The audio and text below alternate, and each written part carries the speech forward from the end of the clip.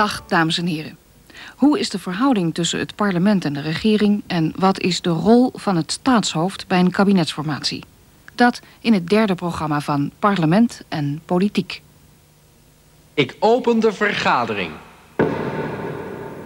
Actie! Meneer de voorzitter, Met verbazing hebben we kennis genomen het voorstel is verworpen. De motie is aangenomen.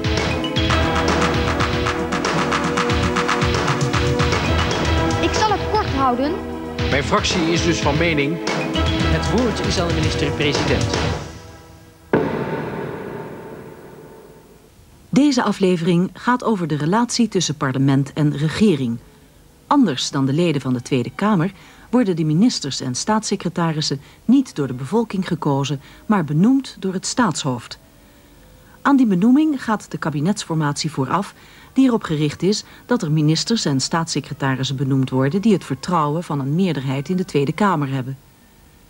De uitslag van de Kamerverkiezingen speelt dus een belangrijke rol, want die bepaalt welke combinaties van partijen een dergelijke meerderheid kunnen vormen. Daarom wordt altijd na de verkiezingen van de Tweede Kamer een nieuw kabinet gevormd. De koningin benoemt de ministers altijd op voordracht van een vooraanstaand politicus, de kabinetsformateur. Deze voert noodzakelijke besprekingen met de fractievoorzitters in de Tweede Kamer om te weten of een kabinet voldoende steun zal krijgen.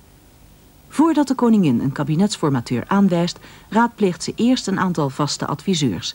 De vicepresident van de Raad van State, de voorzitter van de Eerste en de Tweede Kamer en de fractievoorzitters van de partijen in de Tweede Kamer.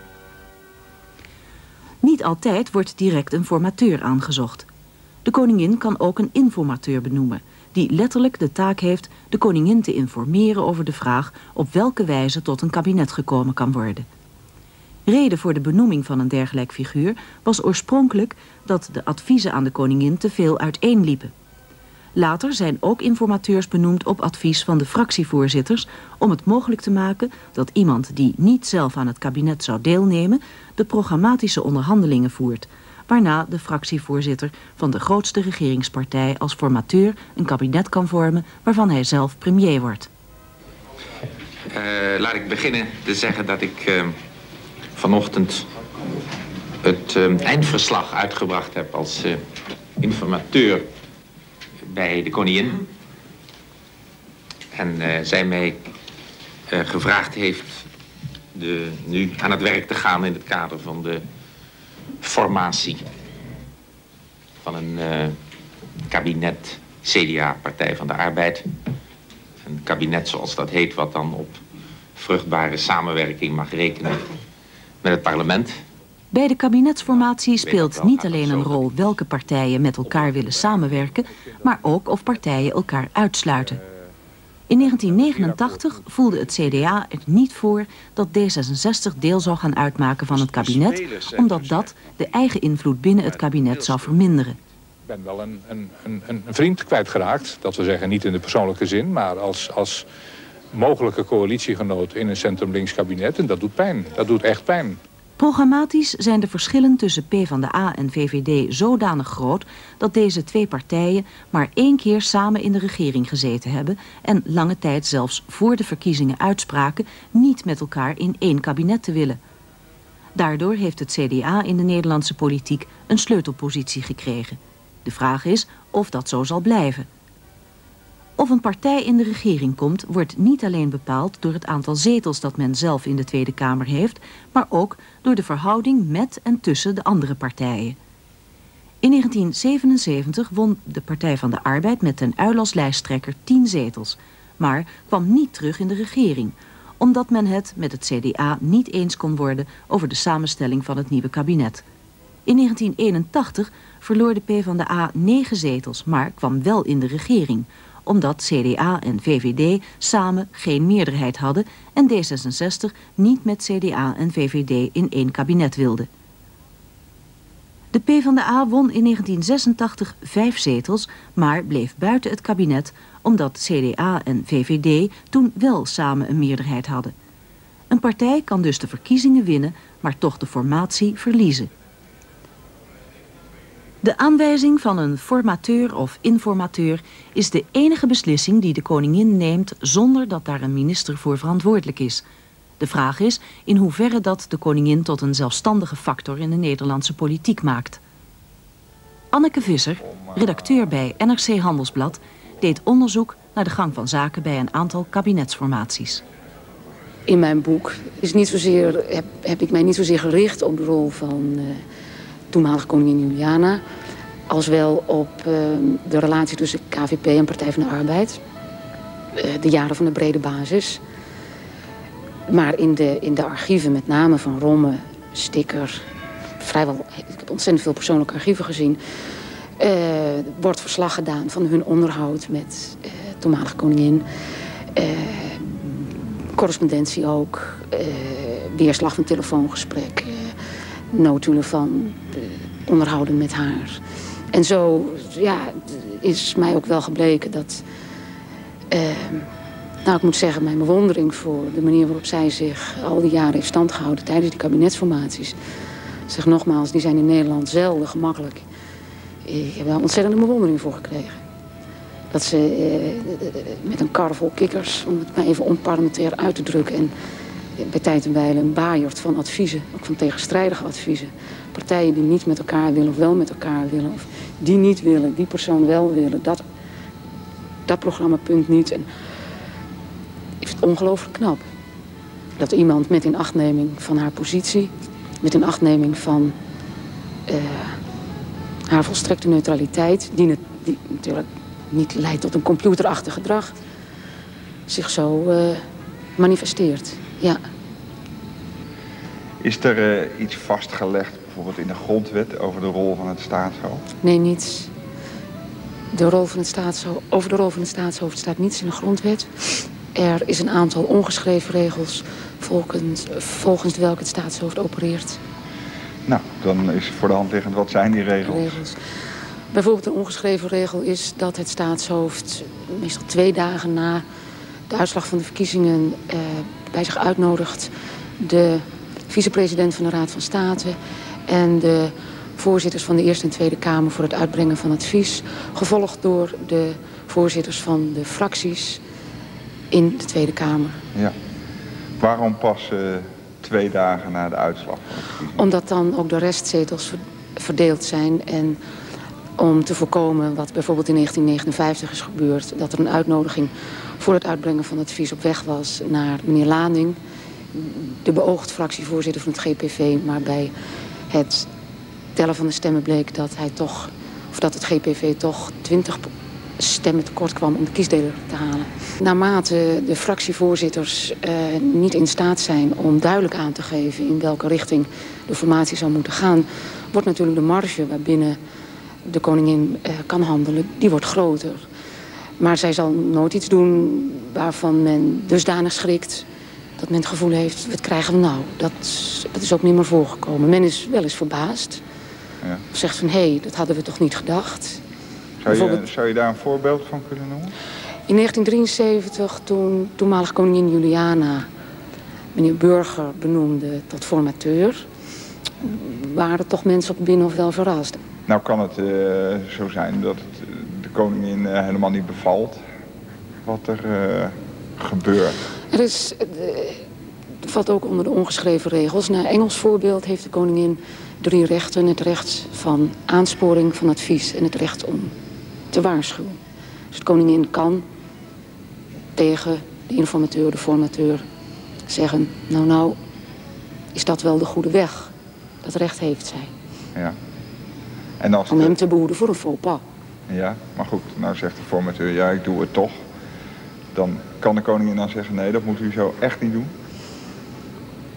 Ik denk dat het gesprek zo niet gaat. Ik denk dat uh, wanneer een formateur of een informateur bij de koningin komt en zegt... ik ben van plan die of die weg te bewandelen... maar ik heb zelf ook al twijfels het, het, het, zal niet zo zijn dat de waarschuwing van de koningin... voor een informateur of een formateur als een volstrekte verrassing komt. Dat geloof ik niet. Dat geloof ik niet. Betekent dat ook dat de koningin op een gegeven moment de mensen kan aansporen... of zeggen van, uh, het wordt nu wel tijd dat er iets gaat gebeuren, dames en heren? Ehm, zij heeft dat bijvoorbeeld in 56, ja sorry dat ik even over de jaren 50, maar uh, dat is toch een leuke tijd. Heeft zij uh, ten tijde van de slepende formatie van, het vier, van het, wat zou moeten worden, het vierde kabinet Drees, heeft zij uh, toenmalige koningin Juliana Romme ja, dusdanig te woord gestaan dat zij te kennen gaf, zo kan het niet langer. En ik begrijp hier ook werkelijk niets meer van. Ja. En ze heeft het recht inderdaad om aan te sporen. Dat zal zij nooit doen wanneer zij ook ziet dat dingen volstrekt vastzitten. Dat, dat iemand met de, met de handen in het haar zit. Maar wanneer partijen, dat was met name in 56 zo, zo duidelijk, wat, wat toenmalig koningin Juliana ook tegen Romme zeiden, dat zij zo duidelijk de indruk had dat hij en Zeilstra elkaar de bal toespeelden. En ja, op een gegeven moment mag iemand het zat worden. Want er moet een kabinet komen, er moet geregeerd worden. Je moet niet vergeten, uh, het apparaat staat stil wanneer er geen kabinet is. Zou je kunnen zeggen dat uh, de koningin zich volstrekt neutraal opstelt? Koningin, de voormalige koningin Juliana heeft gezegd... ik ben een, ik ben een onpartijdige trechter waar alle adviezen invloeien. En het kan ook in ons stelsel niet zijn dat ik of mijn opvolgster... een eigen voorkeur dusdanig laat prevaleren... dat, dat mijn neutraliteit in het, gedring komt, in het gedrang komt. Er is sprake van neutraliteit, maar zoals mijn collega Van Wijnen... ik verschuil mij graag achter mannen die er heel veel van weten... hij schrijft... de neutraliteit van de koningin bij kabinetsformaties is een relatieve neutraliteit. Dat zou ook niet anders kunnen. Duinstee noemt een algehele neutraliteit van de koningin... tegenover alle partijen gelijkelijk een onmogelijkheid. Omdat dat zou betekenen dat de koningin er steeds op uit zou moeten zijn... een vijfpartijenkabinet te bevorderen. Ja, je, je, zou dus kunnen zeggen van de koningin is gewoon een mens. Dacht het wel. Voorkeur. De koningin is natuurlijk een, een, vrouw van vlees en bloed. Ze is geen computer. Uh, is geen robot. Um, maar zoals eerder gezegd, naarmate de adviezen tegenstrijdiger zijn... wordt de marge waarbinnen zij kan handelen wordt groter. Samen met de koningin vormen de ministers de regering. De ministers vormen gezamenlijk het kabinet. Hun vergadering heet de ministerraad.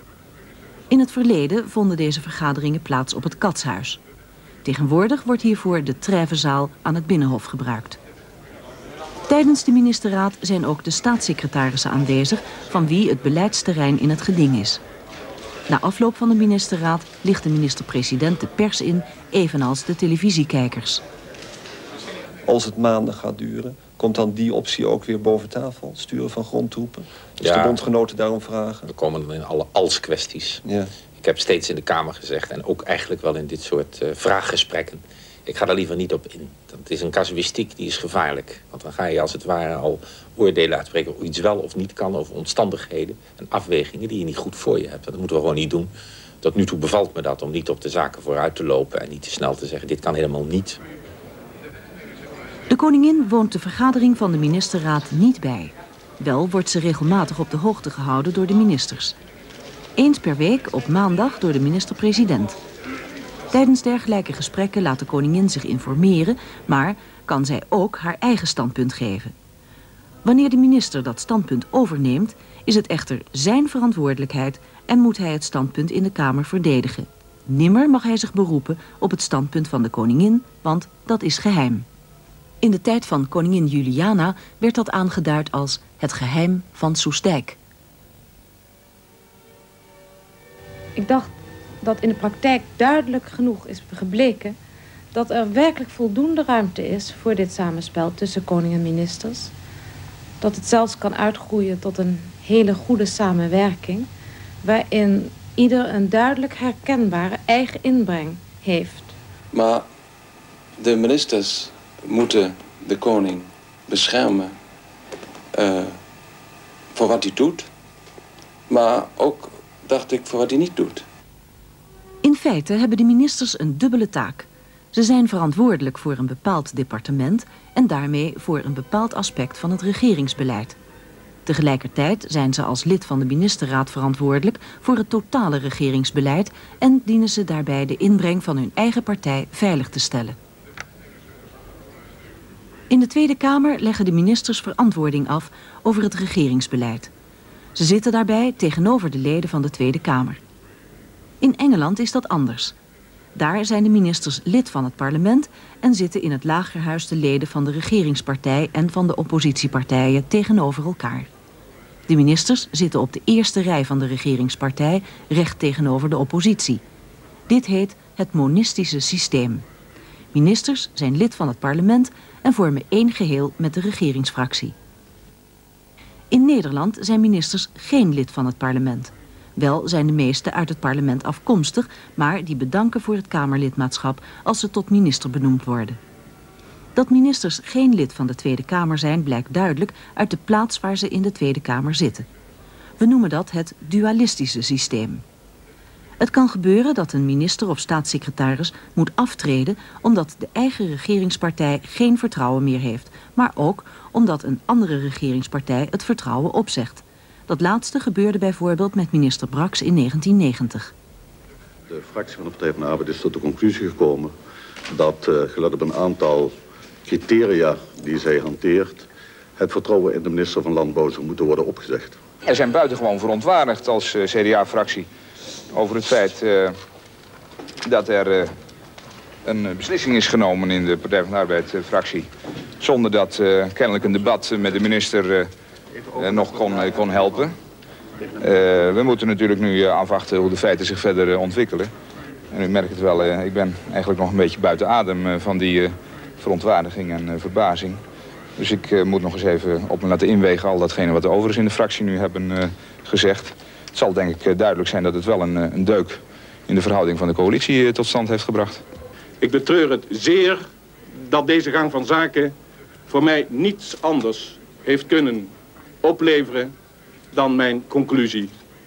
Dat ik op deze wijze niet langer meer kan functioneren als minister van Landbouw, Natuurbeheer en Visserij. Ik wens ook vandaag die beslissing te nemen, omdat mijn opvatting over de politiek er een moet zijn van eerlijkheid en van onderling vertrouwen. Ik wens dus de eer heel uitdrukkelijk aan mezelf te houden. In de hele discussie over mijn politiek functioneren is dat altijd een uitgangspunt geweest. Dit dossier is zeer verdedigbaar. Dit dossier scoort internationaal hoog. Als het nu nog niet blijkt bij iedereen, dan ben ik ervan overtuigd dat het in de toekomst hoog zal scoren als het vergeleken wordt met situaties elders. Desalniettemin, onder de Nederlandse politieke verhoudingen van dit moment, kan ik niets anders besluiten dan dat ik Hare Majesteit de Koningin gevraagd heb, hedenmiddag, om mij te ontheffen van mijn ambt als minister van Landbouw, Natuurbeheer en Visserij, waarin zij inmiddels bewilligd heeft. Niet alleen één enkele minister of staatssecretaris kan tot aftreden gedwongen worden, maar ook een heel kabinet. Het kabinet kan vallen. Anders dan bij het aftreden van een individuele minister of staatssecretaris gaat het daarbij echter vrijwel nooit om het in het verleden gevoerde beleid. Als het kabinet als geheel valt, is er een conflict over in de toekomst te nemen maatregelen. Het kan zijn dat er een onoverbrugbaar conflict is ontstaan tussen de regeringspartijen als zodanig, zodat het kabinet niet meer tot een besluit kan komen. Dat gebeurde in 1977 in het kabinet Den Uyl. Meneer de voorzitter, ik heb de Kamer mee te delen dat hedenmiddag de zes ministers van KVP en AR-partij hun ontslag hebben aangeboden aan de koningin. De ministers van Partij van de Arbeid, PPR en D66 hebben in dit feit aanleiding gevonden hun portefeuilles en functies ter beschikking te stellen. In een dergelijk geval ontstaat er geen conflict tussen kabinet en Kamer. Het kabinet heeft zijn ontslag aangeboden en is daarmee demissionair geworden voor het zover kan komen. Anders is het wanneer er een conflict is binnen een regeringspartij. Dit was in 1989 het geval toen de VVD-kamerfractie het niet eens was met een aantal VVD-ministers over de aftrekbaarheid voor de inkomstenbelasting van reiskosten.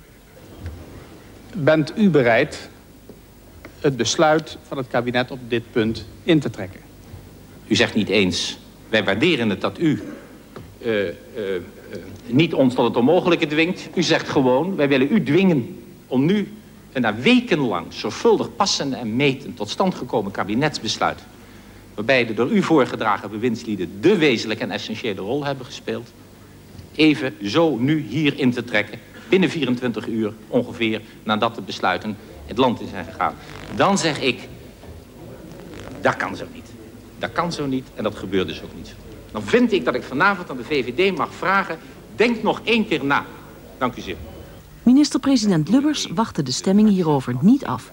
Omdat ook als de motie met steun van de Partij van de Arbeid verworpen zou zijn... het kabinet zo toch niet verder zou kunnen functioneren. Ik zal uiteraard morgen, want het is nu te laat... een bezoek aan de koningin brengen... om het ontslag van alle ministers aan te bieden. In te dienen. Weer anders verliep het in 1966 tijdens de zogenaamde Nacht van Schmelzer. Ook toen werd door een van de regeringspartijen een motie ingediend die het kabinet onaanvaardbaar vond, maar het kabinet kondigde pas zijn ontslag aan nadat de motie was aangenomen. Meneer de voorzitter, ik bied u thans de motie aan.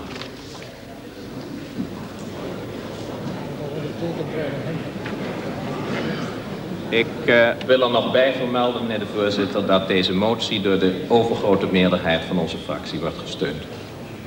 De uitslag van de stemming is dat zich verklaard hebben voor deze motie 75 leden en daartegen 62, zodat ze is aangenomen.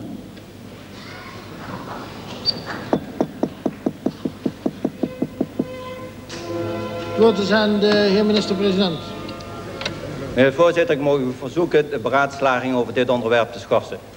Komt het kabinet ten val, dan worden nieuwe verkiezingen uitgeschreven. Dat is niet altijd zo geweest. Vroeger gebeurde het wel dat na een kabinetscrisis geprobeerd werd de breuk te lijmen. Eind 1960 viel het kabinet de kwaai over een motie waarin gevraagd werd het aantal te bouwen woningwetwoningen te vergroten. Zelfs gebeurde het dat na een kabinetscrisis zonder nieuwe verkiezingen een kabinet met andere samenstelling gevormd werd, zoals het kabinet Kals-Vondeling in 1965. Dat riep veel kritiek op en leidde tot een roep om meer duidelijkheid. Sindsdien is het een ongeschreven regel dat er geen nieuw kabinet kan optreden zonder nieuwe verkiezingen. Het betekent dat daarmee het ten val brengen van een kabinet voor Kamerleden een zware beslissing wordt, omdat ze daarmee hun eigen positie op het spel zetten.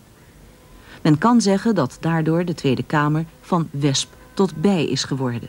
Een bij steekt harder, maar verliest daarbij wel zelf het leven. De behoefte aan duidelijkheid versterkt de band tussen ministers en hun eigen Kamerfractie. In die mate dat er in politieke zin nauwelijks meer van dualisme tussen regering en Tweede Kamer gesproken kan worden. Om conflicten te voorkomen vindt achter de schermen veelvuldig contact plaats tussen Kamerleden en ministers van dezelfde partij. Ook tussen ministers en Kamerleden van andere regeringspartijen.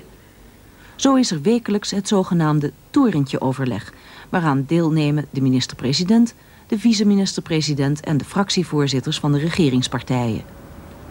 Heel belangrijk is het bewindsliedenoverleg op donderdagavond, voorafgaand aan de ministerraad. Dan komen van elke regeringspartij de ministers en staatssecretarissen bij elkaar... samen met de fractievoorzitter en de partijvoorzitter. Leen Ginjaar woonde dat overleg bij als minister voor de VVD... tijdens het eerste kabinet van acht en als partijvoorzitter... tijdens het tweede kabinet Lubbers. Nou, soms is dat uh, bij de lunch. Hè? Dus in de eerste periode was het altijd tijdens de lunch. De latere periode was het altijd uh, gedurende de avondmaaltijd. Ja. U zegt het is een informeel overleg om de horloges uh, gelijk te zetten. Dat is natuurlijk ook bedoeld om politieke verrassingen te voorkomen, neem ik aan. Ja, ja, ja tenslotte uh, uh, zit je daar natuurlijk als, als dienaar van de kroon. Maar, maar tegelijkertijd moet je natuurlijk toch ook een beetje kijken naar de, de partijpolitieke belangen. en ook kijken van, van hoe vanuit verschillende oogpunten vanuit verschillende departementen naar problemen wordt gekeken. Nou, dat noem ik dan dus inderdaad horloges gelijk zetten. En zorgen dat je niet voor verrassingen komt. Weten wat iedereen zo ongeveer vindt. Meneer Van den Berg, er uh, zijn in de relatie tussen het parlement en de regering een aantal overlegvormen. Eén daarvan is het zogenaamde bewindsliedenoverleg. Er zijn allerlei vormen van overleg waarbij van tevoren geprobeerd wordt ja, de klokken gelijk te zetten. Is uw opvatting dat dat in Nederland in extreme mate gebeurt? Ik weet niet of het in extreme mate gebeurt, maar het is in Nederland heel sterk ontwikkeld. Uh, ik vermoed eigenlijk dat het in Nederland veel sterker is dan een groot aantal andere landen. Ik denk dat je een uitzondering moet maken voor Zweden, waar men eigenlijk een heel vergelijkbaar systeem, zij het dan wat anders georganiseerd heeft, uh, als in Nederland. En waar uh, ja, je bijna denkt van dat systeem overlegt zich suf hier, alvorens het echt tot beslissingen komt. En het meest interessante is dat als het dan tot beslissingen komt, bijvoorbeeld in de regels van een wet of van een toch vaak weer met de Kamer besproken algemene maatregel van bestuur, dan begint het bestuur en het beleid vaak pas. Uh, en zowel in de voorfase, zoals dat altijd heet, uh, als in de behandeling in de Kamer, als soms nog daarna, voordat het echt het beleid of zeg maar de, de, de, de wet bijvoorbeeld uh, het staatsblad bereikt, vindt er voortdurend overleg uh, plaats tussen ministers, bevriende Kamerleden, fractievoorzitters, uh, enigszins al naar gelang de hitte van het onderwerp. Is het nou noodzakelijk om zoveel vooroverleg te plegen of denkt u dat het systeem zo gewijzigd zou kunnen worden dat dat meer in het openbaar en plenair behandeld zou kunnen worden? Nou, het zou wel ietsje anders kunnen, hoewel dat uh, waarschijnlijk inderdaad lichtelijk tegen de Nederlandse traditie in zou gaan. Maar daarbij kun je aan twee dingen denken. Ik denk niet in de eerste plaats aan de officiële plenaire discussie. Die is nooit echt een vrij debat geweest. Dat konden politici zich niet veroorloven, want dan weet je niet hoe de afloop is. Wat je wel zou kunnen doen, is dat de, het parlement zich ten opzichte van de regering meer als een onderzoekende instantie gaat opstellen. Namelijk door te zeggen, wij overleggen helemaal niet met jouw minister uitbundig over wat er moet. En eigenlijk vinden we ook dat het contact met maatschappelijke organisaties en belangengroepen niet in de eerste plaats door de minister moet worden onderhouden, zoals in Nederland gebruik is, maar dat de Kamer dat naar zich toe zou trekken. En de Kamer zelf zou zeggen, het contact met maatschappelijke organisaties is ons werk als volksvertegenwoordiger. Dat zou betekenen dat de Kamer zich, ja, bij wijze van spreken, meer zou moeten gedragen zoals een enquêtecommissie dat doet, hè, door belangenorganisaties te horen en zich ook geïnteresseerd te tonen in wat die vinden. Zodat ook dat eigenlijk iets meer in het openbaar gebeurt nog. Waarna de Kamer vervolgens zijn conclusies trekt. Um, en dan zou het ook met wat minder van dit soort uh, vooroverleg af kunnen. Samenvattend. Hoewel in tegenstelling tot de Tweede Kamerleden de ministers en de staatssecretarissen niet rechtstreeks gekozen worden, bepaalt wel de samenstelling van de Tweede Kamer welke partijcombinaties samen een kabinet kunnen vormen. De koningin heeft daarbij slechts een zeer beperkte invloed. Omdat opzeggen van het vertrouwen door een regeringspartij niet alleen tot de val van het kabinet, maar ook tot ontbinding van de Tweede Kamer leidt, vindt binnenshuis veel overleg plaats. Ik wilde nog onze coalitiepartner, de VVD, vragen dat gezichtspunt nadrukkelijk mee te wegen bij de moeilijke afweging die daar gemaakt